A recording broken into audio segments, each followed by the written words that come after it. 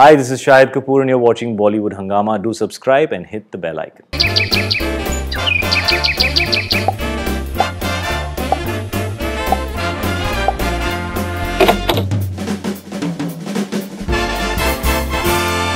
This is Nithya from Northeast, US. We love seeing you on screen and, and you also want to do more films, yet you take such a long break between films and take so long to decide why. I don't know. I don't know. I think it takes time, you know.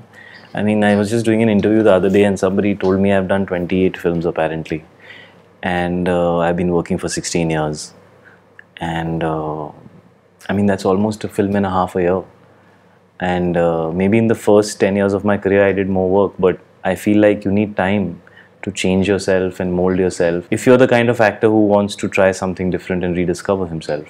Now, from a commercial standpoint, from a star standpoint, maybe you should have more releases at the box office. But I don't, I don't make that uh, the most important thing in my decision making. See, there's so many things you have to consider, Ji. but eventually you have to understand what you want to prioritize.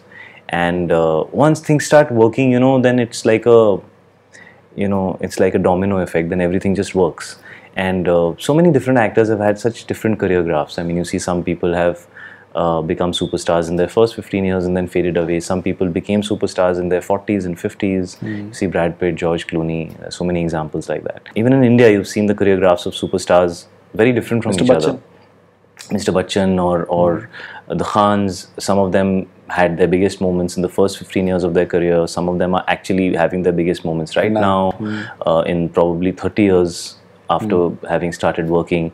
Uh, so you have to be honest to who you are and what you feel uh, is your organic, real, honest process. And uh, so I, I'm just trying to do that. I think the first 10, 12 years I wasn't so clear.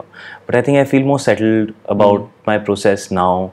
And uh, I really enjoy the process. I enjoy playing different roles, doing different characters, changing myself, taking time to. Uh, so I that's who I am, and I don't want to run away from that even if it might be a disadvantage at some level that I don't have so many releases, but at least I'm giving all of myself to whatever I'm doing. I'm, I'm happy doing that. It, Yeah, I definitely. feel more satisfied like that.